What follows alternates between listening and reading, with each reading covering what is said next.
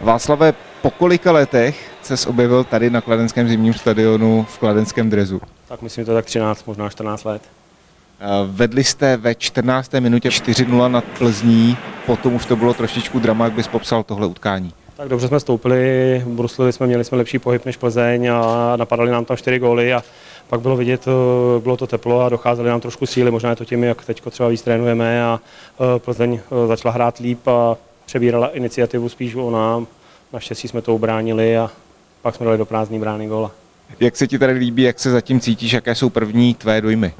Tak dojmy jsou dobrý, je tady spousta mladých šikovných kluků a teprve se poznáváme a jak říkám, líbí se mi tady zatím. Kdyby si mohl vzpomenout na tvoje nějaké zážitky z toho předchozího působení, vybaví se ti ještě něco? Tak něco kabina, to je pořád stejná. je to hrozně dlouho a zážitky, říkám, jak říkám, je to dlouho už. A Když jsi zmínil kabinu, jak na tebe působí ta kabina současná?